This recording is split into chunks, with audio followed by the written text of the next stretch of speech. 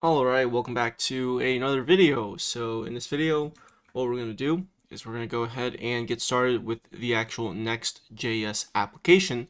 So in case you are wondering, Next.js is a web framework that you use React to build your web components, but the only difference between actual using a regular create React app, you actually run the Next.js app on the server side and allows you to perform pre-rendering such as server-side rendering, or static site generation, or you can do both. Okay. Now, if you aren't familiar with Next.js, I have a full tutorial playlist that you can go ahead and watch. It's a very easy framework to use.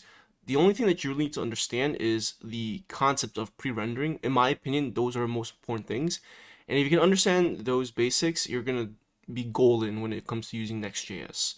But let's go ahead and get started. So to get started with Next.js, we're going to create a next project. So let me just zoom in a little bit on my terminal. So I'll type yarn create. You can also use npx if you want, but I prefer yarn. So the command that I'm using, yarn create next hyphen app, you just do npx create next app or next hyphen app. And then uh, what we're going to do is I'll set the template to TypeScript. So that's just hyphen hyphen TypeScript. Okay, hit enter. And now it's going to prompt us for the project name. So I'll just call this uh, next dashboard. Uh, and I'll call this client. Yeah, next dashboard client for the front end. It feels weird calling a next app a front end because we know that it runs on the server side. Um, but you know, it, it's it's not a huge deal.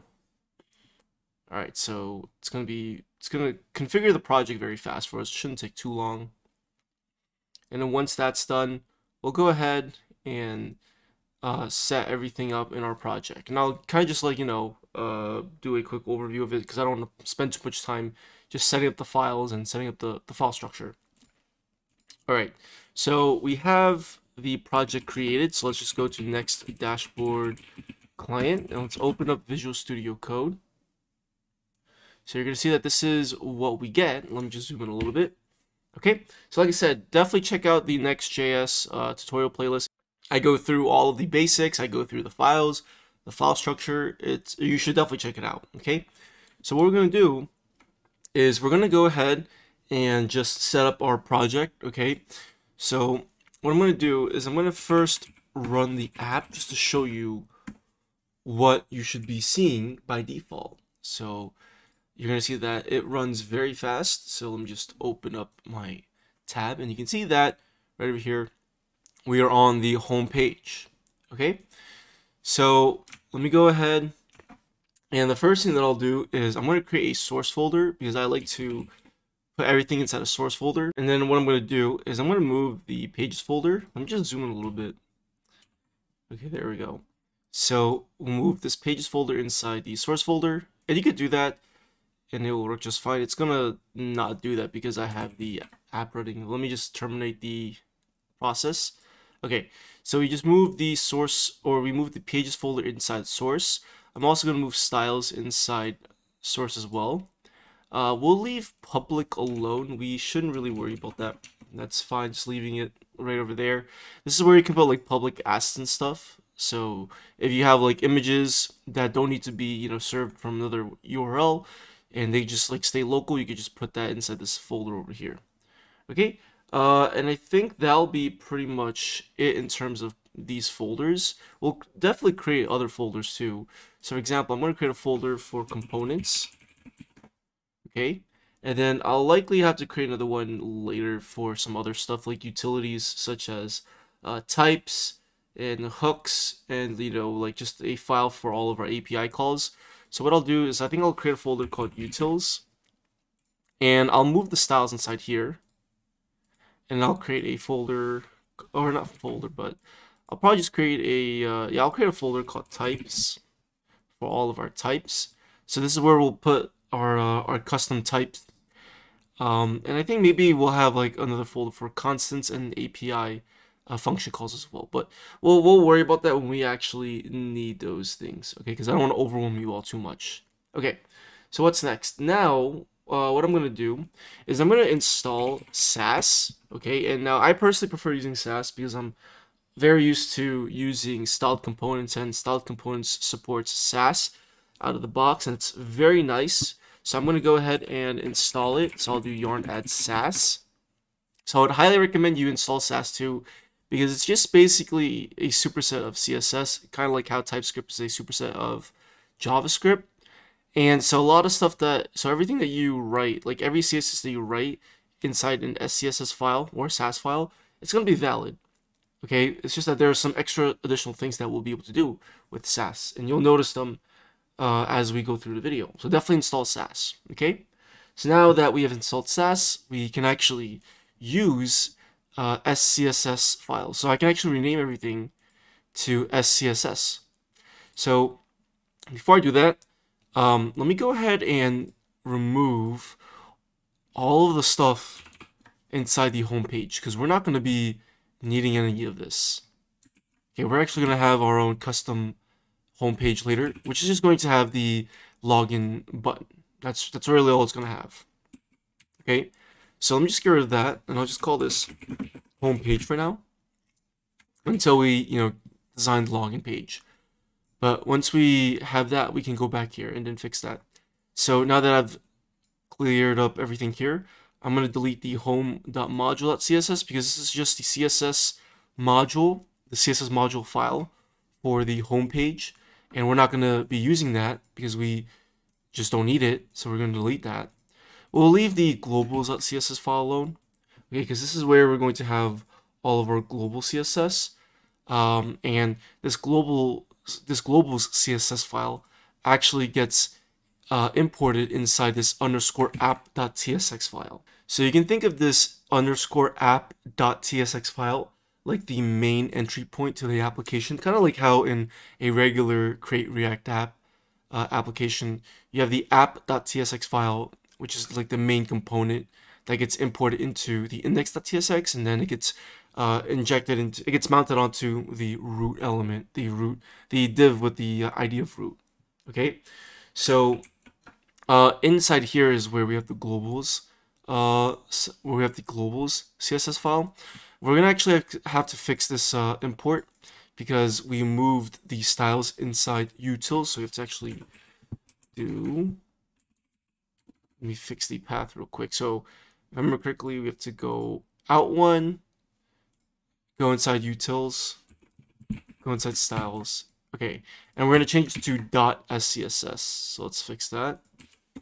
Okay, so now let me go back and run the application real quick.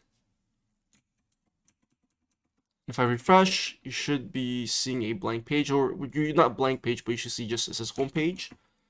And if I go to globals.css, if I were to change the background color to a dark color, you can see that the changes reflect. That, that shows that our SCSS file uh, is in fact working, and the globals is, is are being picked up. All the global cells are being picked up. Okay, so um, that's pretty much it for that part. So let's go ahead and configure uh, some default styles, and then we'll configure a font. And then once we configure the font, uh, we should be good to go. We can start implementing all of our pages. Okay, so this is just all basic setup. So what I'll do is I'm going to go ahead and set the height. So I'm going to delete that background color property because I'm going to set that somewhere else. I'm going to set the height to 100%. Okay. Uh, I'll set the text color uh, to be a white color. And then I'm going to go over to here, and I'm going to reference the underscore underscore next ID and I'm going to set the height of that to 100. So this is actually equivalent to if you have create react app and if you have the root uh, ID for the main div. Uh, Next also has the main div that has an ID with underscore underscore next. Okay, so we're just going to set the height of that to 100% so that way we have a full full page. Okay, and um, let's see what else. I'm going to go ahead and set a class. So this is going to be a global class. So anywhere in our project, we can actually use this uh, we can actually reference this class name. With uh, Next.js's CSS, uh, basically the way that it works is with globals, you can reference the class name anywhere you want, and then you also have something called CSS modules, which you can just scope the CSS down to component level. And you'll see many examples of that later on in the video. So for this page class, I'm just going to set the height to 100%. The background color will be 1D, 1D, 1D, and then we'll set the padding to pixels. And uh, it already came with this uh, box sizing border box that applies to all elements, so we don't have to worry about applying that anywhere else. Okay, so and that just comes from the uh, the scaffold of our Next.js project. That was already there already. All right, so next thing that we're gonna have to do is we're gonna bring in a Google font.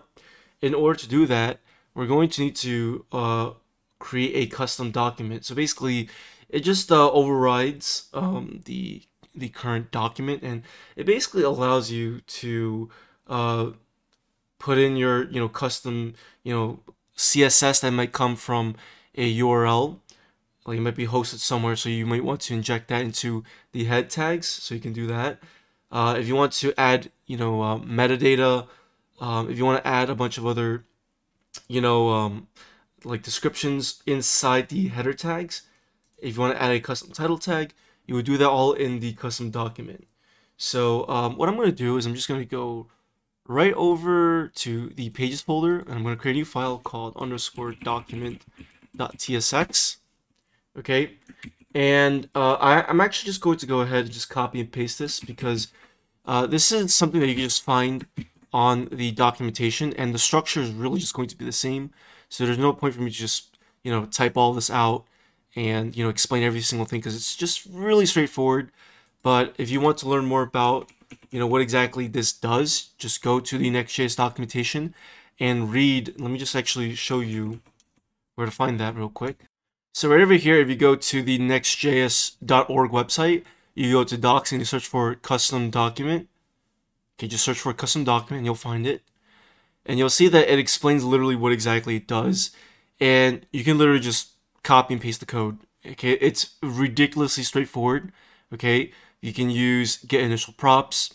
Okay, you can call this render method, and then you can just return a custom HTML document. Okay, and the tags are pretty straightforward.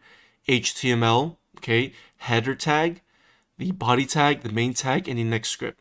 Okay, the only thing that we're only doing that's different is we're just adding the Google font okay? And you just grab this Google font from fonts.google.com. It's very easy. Okay, the font that I'm going to use is DM Sans. And uh, yeah, that's pretty much it. So when you have that inside this pages folder as underscore document.tsx, it'll override it for you. If you were to open up the Elements tab in your browser, you should be able to see the fonts right over here in the head tag. It's almost as if, if you were manually putting it in there yourself. Okay, so pretty straightforward. If I remove it, we won't see it anymore. Okay? So again, you can add a bunch of stuff here. You can even change the title of, you can even change the title here if you want to. Hello. I think, yeah, I think uh, Next.js might have its own title component that you can use. I'm not sure, but you can see the up top over here. It gets the title gets changed up top there, and you can see it right over here. I think Next might have its own title component. I'm not too sure. I don't think I don't think so. So you can just use this just fine. Um, but it does recommend, yeah, it does recommend you use titles at the page level. Okay, so I figured there was something they did have a custom uh, component for that. But anyways, let's move on. All right, so now that uh, we have done that, let me actually just do this. I'm just going to go into this home page and let me just set the class name to page just so just so you can see that the css is going to be applied to our page. So you can see that right now uh, let me just close this tab over here. You can see that now we have our uh, css applied to this home page okay? And uh, let me actually just change the font real quick. So let me just uh, change it to dm sans and I'm not sure, I can't really tell, to be honest with you, because a lot of these fonts just really look the same. So sometimes it's very hard to tell. So let me just see. Okay, there we go. Okay. Uh, it looks really similar to me. But anyways, we got the font in. And again, you can use whatever font you want. Okay. Uh, and I think that's pretty much going to be most of the changes that we're going to be making. Um, so I just wanted to get a basic, uh, I just wanted to you know set up all of the base uh, structures of our application. Okay, seems like we have most of the things set up already. So what we're to do in the next video is we'll just set up the home page. And what I'm to do is I'm just to do something basic. It's to be very similar to the uh, original dashboard series that we had where we just create like a button, they click on it, and it's just going to uh, it's just going to redirect them to the uh, the Discord platform, which is where they will click authorize, and it'll redirect them back to our web page once they have successfully authorized. Okay, and then after that, we'll set up the menu page, and we'll set up the dashboard page, and it, you know it'll be pretty straightforward from there. So thank you for watching, and I'll see you all in the next episode. Peace out.